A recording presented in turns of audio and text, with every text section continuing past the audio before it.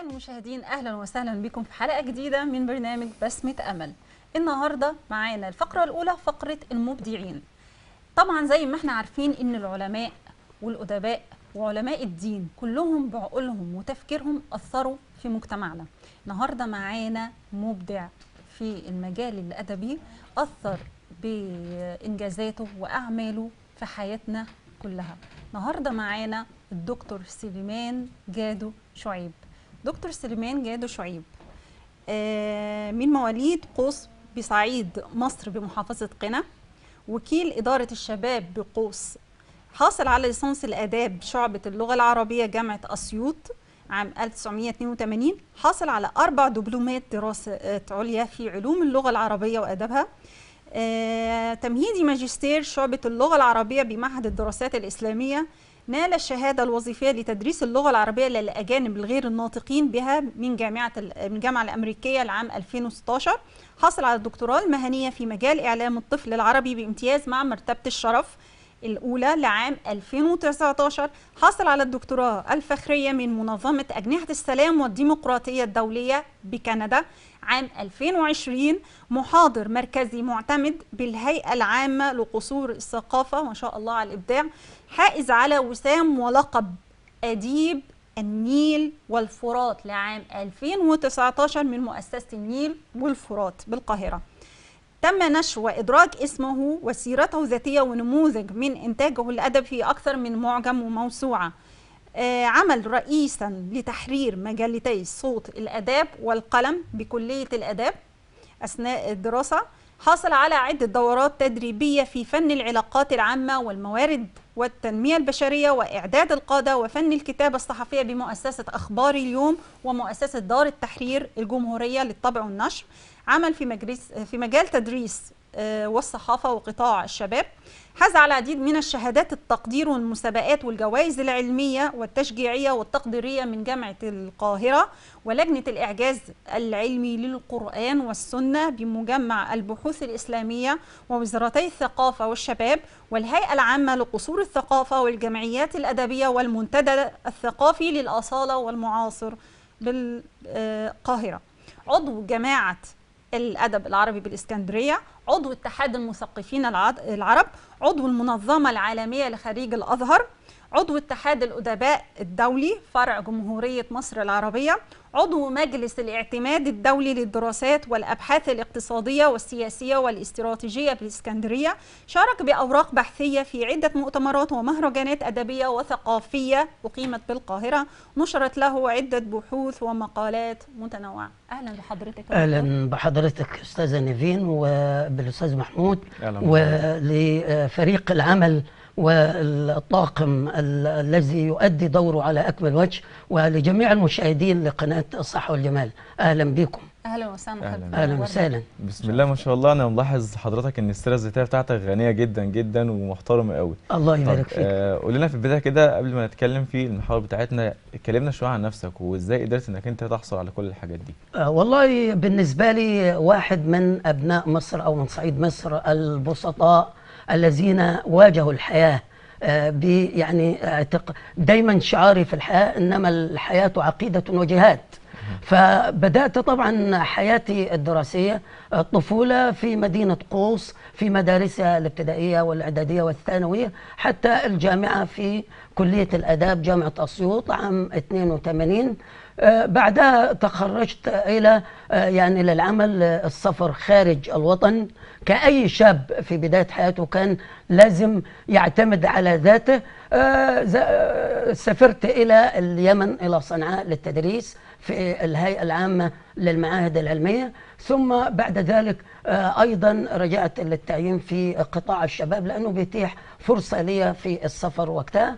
آه، سافرت إلى المملكة العربية السعودية الدمام عملا آه، مدرسا أيضا ضمن مكتب التوظيف السعودي. بعد أيضا عملت أثناء العمل في المملكة في صحف ومجلات سعودية زي مجلة الشرق وصحيفة نسائية اسمها دنيا آه، تصدرها الشركة الشرقية للصحافة والإعلام. آه، بعد ذلك عدت إلى أرض الوطن يعني كأي واحد يحب بلده وينتمي إليها لابد أنه يواصل مسيرة حياته وما تبقى من عمره في بلده. ده باختصار شديد يعني. طبعا آه، جهودي ال- الأدبية والكتابة آه، منذ الصغر وأنا أعتمد على الكتابة. يعني بدأت الكتابة وأنا طالب في صف ثانية ثانوي. أول مقال نشر لي في آه، مجلة الجديد اللي كان يرأسها الدكتور آه، رشاد رشدي رئيس الأكاديمية أكاديمية الفنون. وده طبعا هو اللي وضعني على الطريق. يعني بداية أول مقال ينشر لي في صح في مجلة عريقة زي دي آه، بيكتب فيها أقلام جادة ويعني أساتذة جامع جامعات ومبدعين كبار. آه، ده إداني دافع وحافز إني أستمر وأحب الكلمة ويعني أبدأ يعني أبتدي هذا المشوار تمام الطويل بسم الله ما شاء نعم. الله. خليني كده آه، بمناسبة الأدب. آه. قول لي حضرتك هو الفرق بين آه، أدب الطفل وإعلام الطفل؟ آه نعم. آه الفرق طبعا أستاذنا بين أدب الطفل وإعلام الطفل. أدب الطفل هو ما يختص بالأجناس الأدبية التي تنمي الذوق والوجدان لدى الطفل زي زي الأناشيد والمحفوظات بالنسبة للأطفال الصغار النا- ال- الناشئة يعني. طبعا الأشعار آه، سواء بالفصحى أو العامية المسرح آه، آه، أيضا مثلا الخاطرة الأدبية المقال البسيط لأن الطفل يحتاج إلى عبارات بسيطة جدا ده بالنسبة للأدب.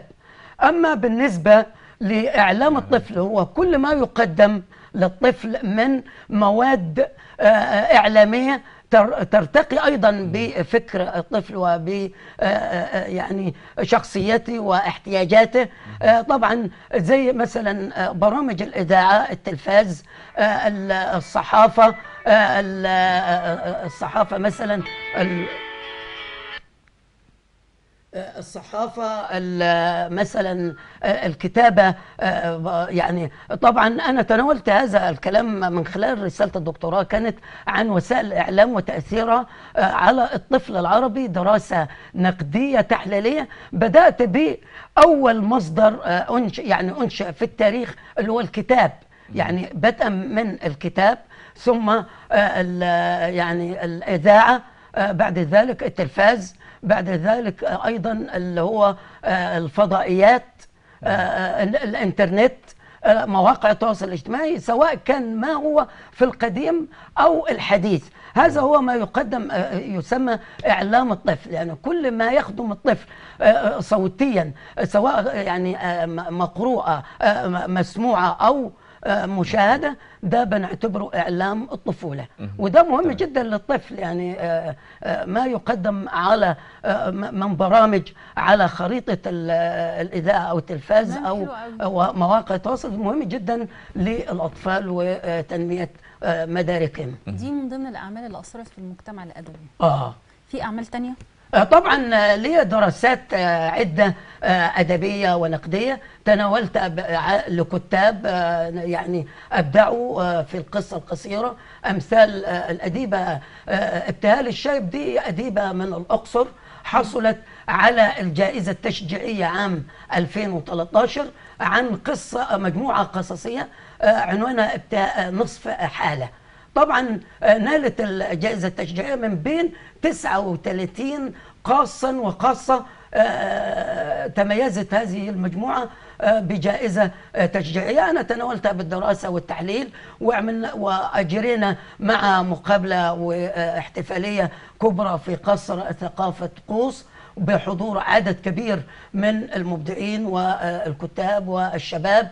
ومحبي الكلمة آه، كانت طبعا آه، يعني تكريم لها وإشادة أنه واحدة من أبناء الصعيد تحصل على جائزة كبرى من بين 39 آه، وحضرتك حاصل على آه. المركز العاشر لاتحاد المثقفين العرب في مسابقة رفاعة الطهطاوي نعم في فن المقال في فن من المقال. بين 360 آه ما شاء من بين الله. 360 تقدموا في صور معانا آه. آه هنحب نعرضها إن شاء الله بإذن الله هيعرضوها نعم تمام. اتفضل حضرتك. آه بالنسبة طبعا مسابقة آه يعني رفاعة الطهطاوي لفن المقال ده آه حب ال- الدكتور أيمن خليل آه من ضمن آه يعني الاتحاد المثقفين العرب آه آه، أنه ي- يعني يعطي آه، انطباعا للمبدعين لكتابة المقال. آه، فالمقال طبعا بينقسم إلى أنواع. مقال أدبي مقال علمي متأدب مقال ذاتي مقال آه، يعني تصويري إلى آخره. فمقال علمي. آه، طبعا المقال الأدبي آه، أنا يعني آه، أغلب كتاباتي في المقالات الأدبية والاجتماعية. فتناولت قضية مهمة جدا اللي هي قضية الأمية آه، في مصر والعالم العربي.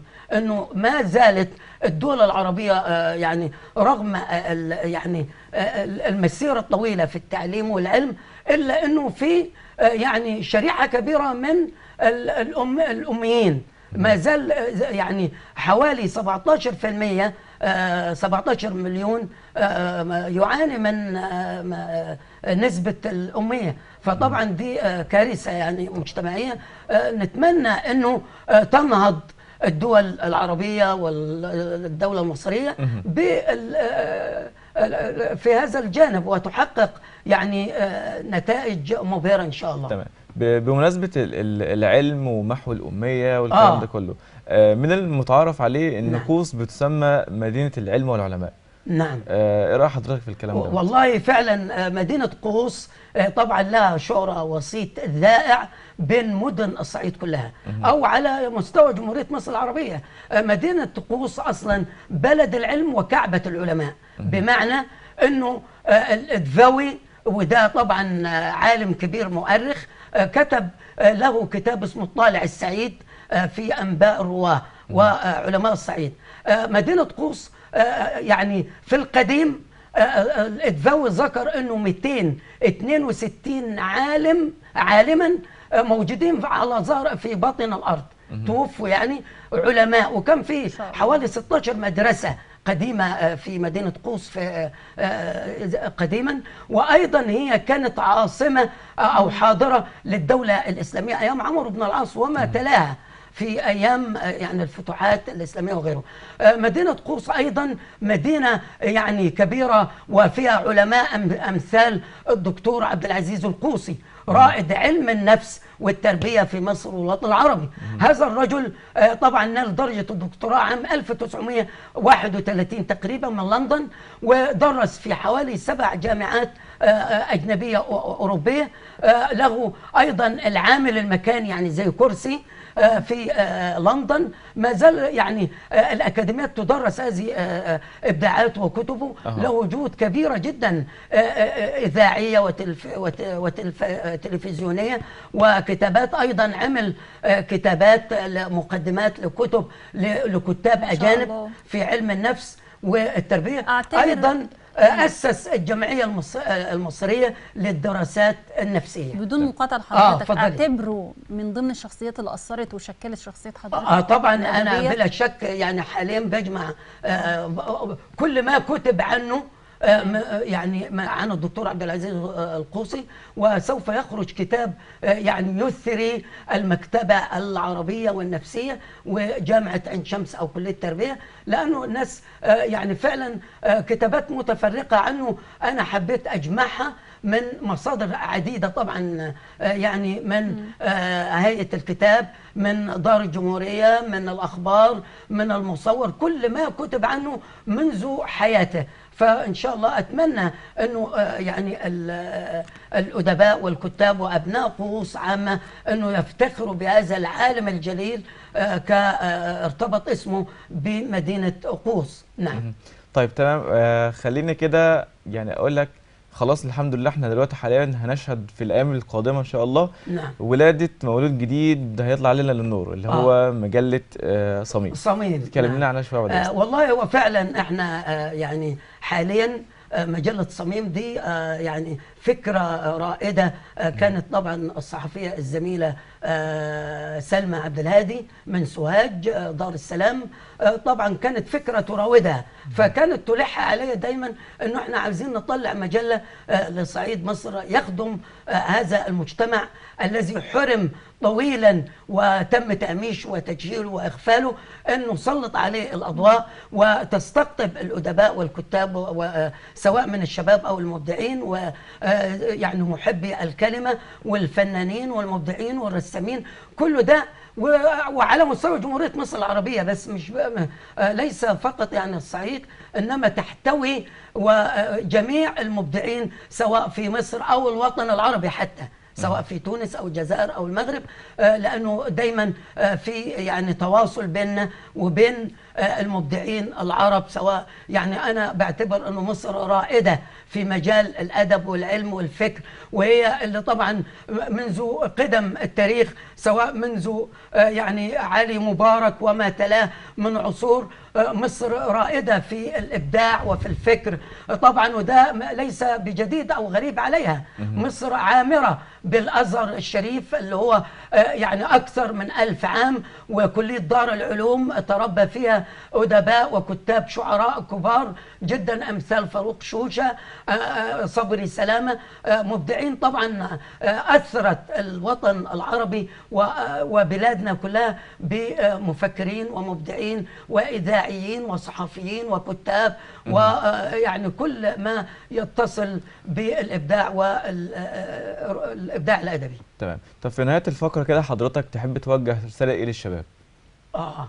نعم يا الصور. رسالتي طبعا للشباب إنه يا ينتموا ريت الصور اللي انت آه، يعني طب يكون معانا صور دلوقتي في حاجات جميلة. قوي آه. يعني حضرتك أخدت جوائز كتيرة جدا آه نعم ومن ضمنها حضرتك أسست وأنتجت كتاب اسمه كتاب معجم المبدعين العرب آه لا هو عن ده كذا جزء. آه هو معجم المبدعين العرب ده تم فيه ت- ت- آه، آه،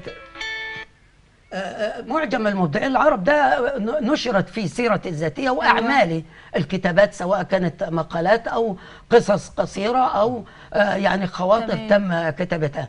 فطبعا تم نشر سيرتي الذاتيه في أكثر من معجم سواء معجم المبدعين العرب أو آه، آه، برضو في هيئة ال- ال- الكتاب يعني.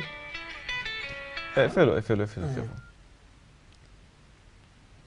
طب بالنسبة لجائزه أديب النيل والفرات آه إيه حكايتها بقى؟ آه، بالنسبة لجائزة النيل والفرات طبعا أنا حضرت ثلاثة م- آه، مهرجانات أدبية آه، ثلاثة آه، مهرجانات أدب ثلاثة مهرجانات أدبية للنيل والفرات كانت في مكتبة آه، مصر ال- العامة بالزاوية الحمراء. ده كان المهرجان الأول. وحضروا طبعا آه، وفود عربية من العراق وتونس والجزائر والمغرب. ال- المرة الثانية كان في جمصة.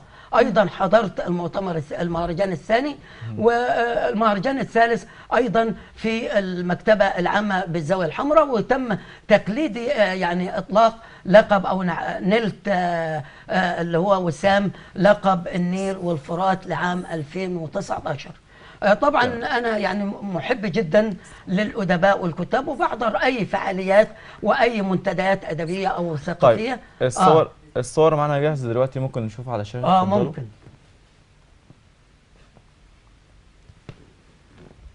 مهم. ات- اتفضل آه, آه ده طبعا آه، الدكتور آه، يسر عبد الغني آه المنتدى الثقافي آه المنتدى الثقافي للأصالة المعاصره آه طبعا كرمني لأنه كان في مسابقة عن آه هيا نتعلم الجميلة أو نحيي الجميلة. آه في اليوم العالمي آه للغة العربية. طبعا أنا كتبت آه بحث حوالي أكثر من من 25 صفحة آه، بمشاعري. حتى هو استضاف آه، الإذاعي حسن عابد إذاعة القاهرة الكبرى وتناولوا آه، ال- المتسابقين. طبعا كانت واحدة سورية آه، اسمها آه، كاميليا دكتورة س- كاميليا وأنا المركز الأول. والصورة آه. دي كانت بتاعت إيه؟ آه، دي طبعا في النيل والفرات آه، مؤسسة النيل والفرات مهرجان آه، النيل والفرات آه، طبعا آه، رئيس مجلس الإدارة آه، ناجي عبد المنعم وكان في وفود ع- عربية أيضا. دي في نفس ده طبعا في؟ اتحاد الكتاب مؤتمر. ألقيت ورقة بحثية عن المسرح المدرسي آه، آفاقه وإشكالياته. آه. تمام. آه، دي برضو كان في الإسكندرية. آه، في مؤتمر برضو مجلس الاعتماد الدولي للدراسات السياسية والاقتصادية والاجتماعية وتم تكريمي بهذا ال- الدرع. دي كان مؤسسة هبة بن داري. الثقافية وكانت برضو تم تكريمي في القصة آه، القصيرة كتبت قصة قصيرة وتم تكريمي فيها. نعم. آه، دي برضو كان في اتحاد آه، في هيئة ال- الكتاب. الهيئة المصرية لعلم الكتاب مركز بحوث الطفل آه، قدمت ورقة بحثية عن آه، فن الترجمة إسهامات آه، الترجمة والتبادل الثقافي في أدب الطفل بإفريقيا. نعم وكان معنا الدكتور جمال آه، آه، شفي آه، جمال آه نعم. تمام. آه. آه كده خلاص الحمد لله ال- الفقرة آه. بتاعتنا انتهت على خير الحمد لله. أحب إن أنا أوجه الشكر لحضرتك. واستضافة حضرتك النهارده كانت ممتعة جدا جدا وكنا مبسوطين قوي بالحلقة ديت صح؟ جدا جدا بصراحة يعني و- وإن شاء الله حضرتك تبقى قدوة دايما للشباب ال- اللي بيسعى دايما إنه ينمي موهبة آه، موهبة كتابة المقال والنقد وتقدم لهم دايما دعم وتشجيع ليهم نتمنى من حضرتك آه، إن شاء إن شاء الله الله. تخلق آه، جيل جديد من الأدباء والنقاد بإذن الله إن شاء الله إن شاء الله. أنا شاكر جدا لحضراتكم ولقناه. الصحة والجمال بكاملها إن شاء الله. ودي. فرصة طيبة لإتاحة الحديث عن الجنوب يعني وتسليط الضوء على المبدعين فشكرا جزيلا لكم مرة أخرى والسلام عليكم ورحمة وعليكم الله. عليكم. حضرتك شرفتنا وبكده خلاص الحمد لله خلصنا الفقرة بتاعتنا الأولى وخلصنا أول بسمة أمل في الحلقة بتاعتنا بتاعت النهاردة. استنونا بعد الفاصل مع بسمة أمل التانية إن شاء الله.